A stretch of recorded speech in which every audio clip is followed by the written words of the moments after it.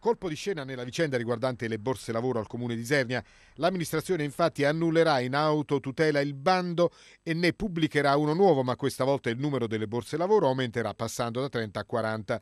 La decisione di optare per un nuovo bando è scaturita in seguito ad una nota inviata dalla Regione all'assessorato alle politiche sociali del comune di Isernia. Nota nella quale è stato segnalato il problema della clausola del limite massimo di 36 mesi di disoccupazione per la partecipazione presente all'avviso. Clausola contestata a più riprese dalla consigliera comunale di opposizione Filomena Calenda che, per questi motivi, nelle settimane passate aveva invitato l'assessore alle politiche sociali Cosmo Galasso ad eliminare questo limite.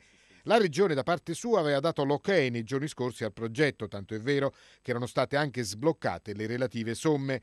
A quel punto la consigliera Calenda però aveva invitato gli esclusi a presentare ricorso al TAR. Così, successivamente, nonostante l'iniziale via libera della Regione, c'è stato ancora una volta un nuovo stop proprio per via dei dubbi sul limite dei 36 mesi. A quel punto il Comune, per sbloccare l'impasse ed evitare eventuali contenziosi, ha deciso di rifare l'avviso senza la clausola dei 36 mesi.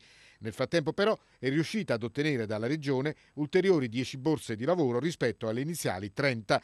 Una richiesta avanzata alla luce del particolare momento di crisi che la città sta vivendo e per permettere a più persone di partecipare a questo progetto. A questo punto quindi dovrà essere fatta anche una nuova selezione in base ai criteri che saranno fissati nel nuovo bando, visto l'annullamento del precedente.